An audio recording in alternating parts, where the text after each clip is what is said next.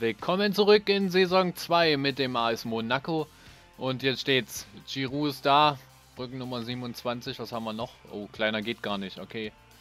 Nehmen wir so hin. Er kriegt eine Pressekonferenz. Raphael Varan. Ja, die Nummer 2 kriegt er. Ist auch okay. Raphael Varan, ja, auch Pressekonferenz. Loris, die 28. Die werden wir denn auf die 1 abändern, ganz klar. Loris kriegt das Stadion. Mangala die 29, auch er kriegt eine Pressekonferenz. Und dann gehen wir mal durch. Saisonziels, Qualifikation Meisterliga konnten wir ja runterhandeln. Oh, vier handeln mussten wir ja nicht. Hauptsponsor Bonus für internationalen Wettbewerb 2,25 Millionen.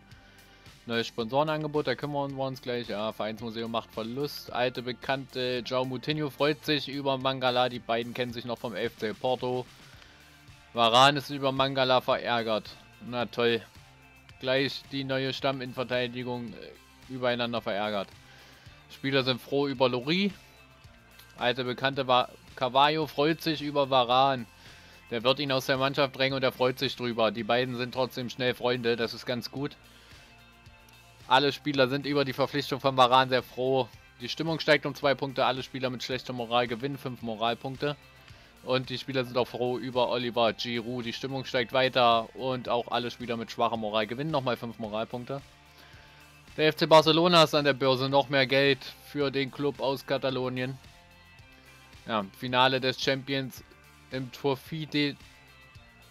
Warte mal, Trophy des Champions Finale treffen wir auf Olympique Marseille, den Pokalsieger. Pokalprämie 250.000 Euro da. 50.000 Euro für den Coupe de la Ligue und im Coupe National gibt es nochmal 25.000. Ja, Verlust von 48,11 Millionen. Ja, und ihr seht beim Transferbudget minus 67,3 Millionen Euro. Da hat mich das voraussichtliche Transferbudget aber ganz schön hart veräppelt. Mit 117 Millionen, die da standen zum Ende der Saison. Das ist nicht der Fall. Das war eindeutig nicht der Fall und jetzt haben wir ein kleines Problem dass wir da erstmal richtig arbeiten können, um das abzuändern. So, wir gucken mal in die Mannschaft. Da müssen wir ein bisschen aussortieren. Gleich erstmal Lori natürlich ins Tor. Linksverteidiger, wir fangen mal mit Planü an. In der Innenverteidigung dann Varan und Mangala dürfen starten. Corsia dann auf der Rechtsverteidigerposition. Im Zentralen bleibt Joe Moutinho gesetzt, dann Paul Pogba im, im defensiven Mittelfeld. Wieso ist denn jetzt meine Taktik eigentlich hier eine andere? Wir gehen auf 4-1-1-3-1 zurück. Unser Meistersystem. Und dann stimmt das auch hier mit Pogba auf der 6, Moutinho auf der 8. So, dann geht es weiter. Links Mittelfeld bleibt James Rodriguez. Im Offensiven Grenier. Und Ocampos rechts. Ich muss mal ganz kurz gucken. James Rodriguez kann auch rechts spielen. Die Fähigkeiten sind gleich. Die Eingespieltheit fehlt halt. Dann ändern wir das doch gleich mal, weil dann darf Nicolas Peneteux links starten. Tut mir leid für Ocampos, dann wird er auf der Bank Platz nehmen müssen. Im Sturm natürlich mit Falcao.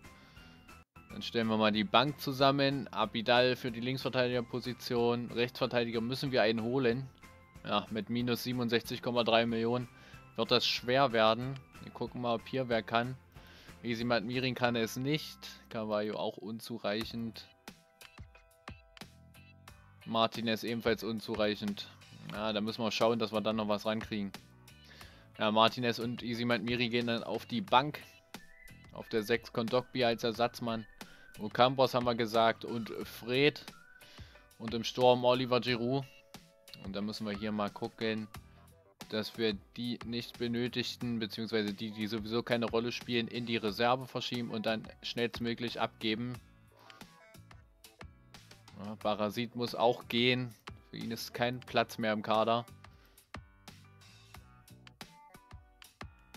Wir müssen das Transferbudget ausgleichen. Dinga ein guter Mann, aber auch er muss gehen, der 25-Jährige. Eigentlich müsste sich Carrasco oder Susa Eta abgeben. Ja, Susa Eta hat sich nicht gut gemacht in der ersten Saison. Er muss leider wieder gehen. Einfach weil Nicolas Peneteux so riesenstark ist, der Linksmittelfeldspieler, der aus der Jugendmannschaft kam. Ihn will ich fördern. Das tut mir leid für Susa Ethan. Wird ein bisschen Verlust bedeuten. Und Borja Lopez. Entweder beweist er sich in der Reserve, dafür ist er eigentlich zu teuer. Oder er geht. Die Reserve stellen wir auch mal neu auf. Roma bleibt im Tor. Der 39-jährige Linksverteidiger wird dann Ciani. In der Innenverteidigung dann vorerst Tiseron, Borja Lopez, falls er nicht noch gehen sollte. Daniel Liri in der Rechtsverteidigung ist gesetzt. Zentral dann Besançon. Muss Jesse P auf die 6 ausweichen. Im, Recht, im Linksmittelfeld. Wen haben wir denn links? Da haben wir auch keinen mehr. Florian Roten. Den Mann, den wir beim Probetraining doch verpflichtet haben. Ich bin kein Fan davon, beim Probetraining Spieler zu verpflichten, einfach weil es nicht ausgereift ist. Da kriegt man ja, wenn man eine gute Mannschaft zusammen hat, kann es sein, dass man schon mal einen 9-Sterne-Spieler kriegt mit Stärke 80 und das kann es ja nicht sein. Der würde nie und nimmer in den Regionen rumbolzen, dass man ihn beim Probetraining-Tag verpflichten kann. Auf der 10 bleibt dann Jakob Holten, den wir auch noch abgeben wollen. Und im Rechtsmittelfeld Charles Lefebvre, bei dem das Spielerbild leider immer noch nicht hinhaut. Und im Sturm natürlich Anthony Martial. Auch wenn Pascal Marteau da stärker drauf ist. Ich will Martial fördern. Der hat es einfach verdient. Auf der Bank nehmen den Platz äh, Kurzawa, Sisako und momentan noch Andrea Raggi. Dinga darf Platz nehmen. Noch. Noch darf er Platz nehmen. Susa Eta, Parasit und dann natürlich Pascal Martou. Und dann wollen wir mal schauen, wen wir hier abgeben können. Sebastian Chabert. Ah, er will nur zu einem großen Club. Gibt's doch nicht. Hier nach Schottland, die Burn in Edinburgh. Der hat da bloß noch 45.000 Marktwert. Die verlangen wir auch bloß noch. Will keiner Gehalt. Der verdient ja fast eine halbe Million, dann darf er ablösefrei gehen, um das Gehalt zu sparen. Nabedira darf gehen. Und zwar schnell 2,7 Millionen Nizza. Start mal Herr Karam zum Aufsteiger, dafür auch gerne. Dann kann ich ihn nicht mehr anbieten. Da ist es wieder. Ah, manchmal ein bisschen noch verbackt der FM13, muss man mal sagen. Aber das Spiel macht trotzdem Spaß. Valenciennes. Auch da kann er hin. Das mit Guingamp. Jawohl. Mal ein bisschen die Liga stärken hier. Nantes. Die werden sich alle melden. Barasit. Wo können wir ihn schicken? Zum Aufsteiger. Das ist bloß eine 1,1 Million wert. Aber die 1,1 Million würde ich doch gerne noch mitnehmen. Belgien, was mit Brücke? Standard Lüttich. Auch nicht. Griechenland, Panathinaikos Athen. Ja, wer muss ihn doch mal nehmen hier? Niederlande. Was mit Twendenskede? Groningen. Utrecht. Arnheim. Keiner will ihn haben. Den müssen wir doch irgendwo hin verschiffen können. Hier, Edinburgh. Aberdeen meine ich, jawohl. Susaida. Da sollten wir doch Angebote kriegen. 7,5 Millionen Marktwert. Das ist mal 8 Millionen fordern wir. Ja gut, die verhandeln ja gerade alle.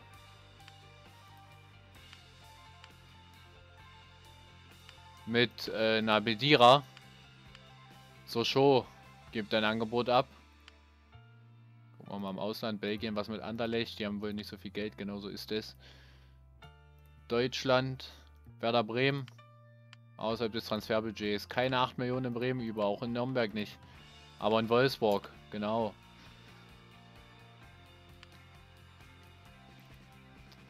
Freiburg hat eine bestimmt... Doch, Freiburg hat 8 Millionen auf der hohen Kante. Oder auch nicht, da werden wir ja sehen, was sie anbieten. Ajax hat keine 8 Millionen, aber Freiburg, okay. Was mit Feyenoord? Kein Transferbudget. Twente auch nicht. Galatasaray besiegt das Istanbul, hat keine 8 Millionen. Gala wollte ihn nicht und Fener nimmt ihn. Ja, komm, einen nehmen wir noch, einen nehmen wir noch mit rein, Sampdoria Genua. Genau, so, dann kann er ein bisschen verhandeln. Andrea Raggi, eine Million wert. Nach so nein, okay. Italien, was mit Palermo? Kein Interesse. Bologna. Jawohl. Also es kommt doch noch ein bisschen Geld in die Kassen.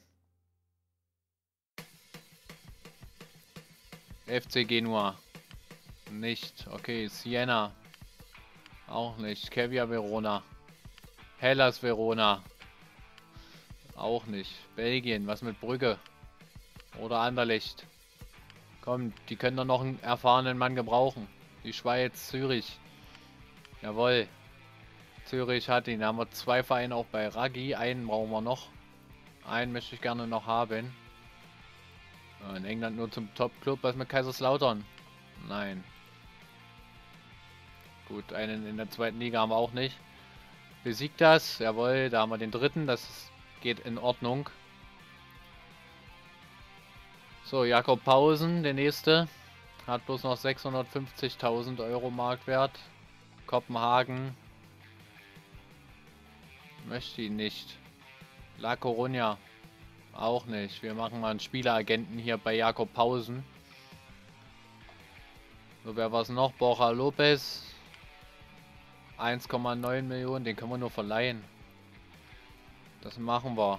Mit Kaufoption von 2 Millionen nach Karn.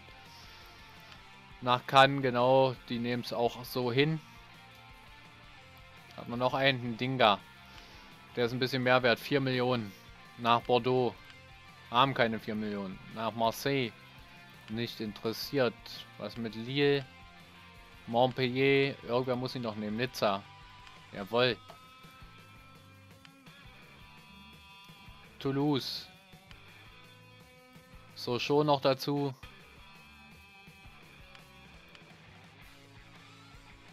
So, fünf Vereine hätte ich da gerne. Vierer haben wir. Ajaccio ist der vierte und der fünfte wird Saint-Etienne? Nein. Valenciennes. Jawohl. Gut, da haben wir das auch. Können wir da mal ganz kurz schauen. Sind, sind 12, 14, also 15 knapp, 16, 16,5 Millionen, die wir da einspielen. Das ist nicht viel. Ja, wir werden erstmal die Forderungen alle erhöhen. Wir geben die Spieler hier nicht ab. Versicherung kommt natürlich dazu. Vertrag verlängern von Anthony Planu.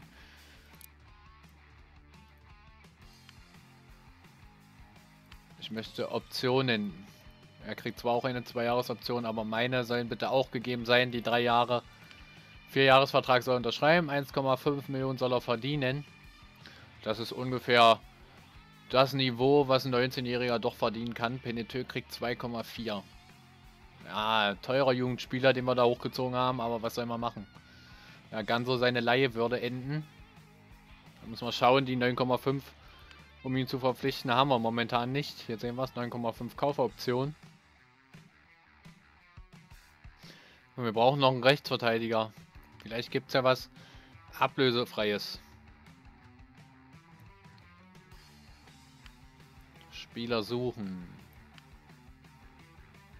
Stärke sollte schon mindestens 71 sein. Wir spielen jetzt Champions League, also muss da ein bisschen was gehen.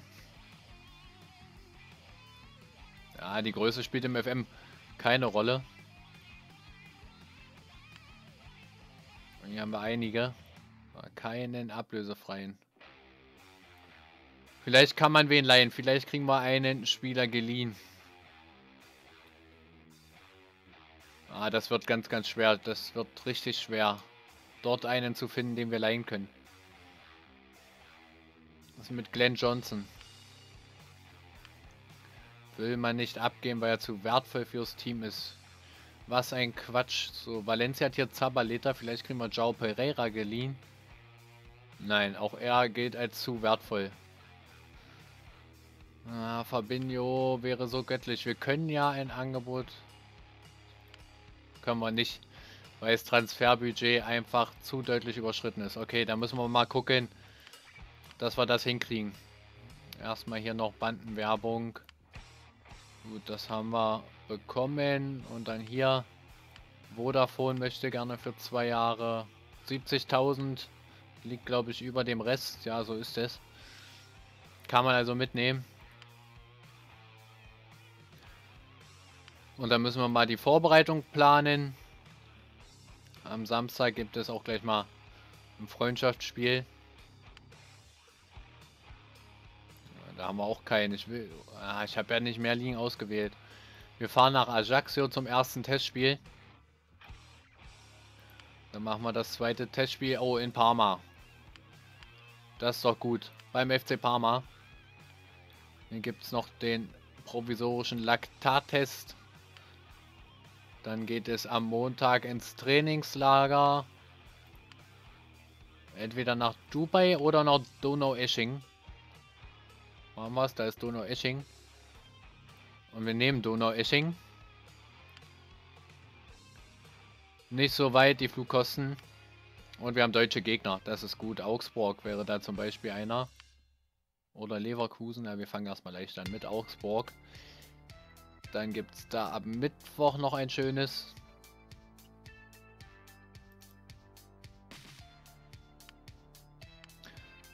Ja, gegen Alemannia Aachen können wir da gerne spielen, dem Traditionsverein. Leider passen ja nicht so viele rein. Und hier geht es dann gegen Schalke 04, die nur Europa League spielen.